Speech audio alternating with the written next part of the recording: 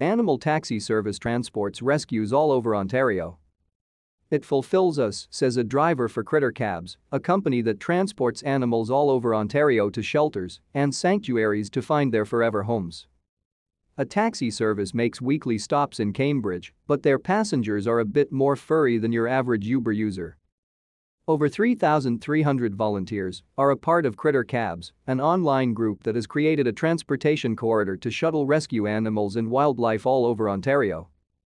We are 100% volunteers, we have no funding, we have no official status of any kind, we're just a Facebook page of like-minded people, said Lori Denis, co-founder of Critter Cabs. To stay up to date with latest top stories, make sure to subscribe to this YouTube channel by clicking the button above this video. Critter Cabs has been in operation for over seven years and has been providing a much-needed service to shelters and foster homes. We are 100% rescue-oriented, so an animal has to be coming into or out of rescue, said Denis. We don't do anything for personal use, but we used to do vet appointments back when the lockdowns were a thing. The animal taxi service makes stops in Cambridge at least four times a week, so the animals can be passed along the network of drivers spanning several hundred kilometers. We work in 100 kilometers legs, said Denis. It's easier on the drivers to not be on the road for too long, and gas is insanely expensive, so it helps break it up a bit. The Cambridge Humane Society has been using critter cabs for just over three years and relies on their service to transport rescues to other humane societies throughout the province. They're amazing, said Michelle De Silva, animal care supervisor for CHS.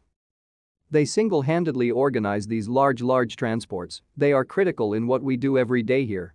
De Silva said some animals they take in at the Cambridge facility have needs or health conditions that can be better treated at other animal shelters.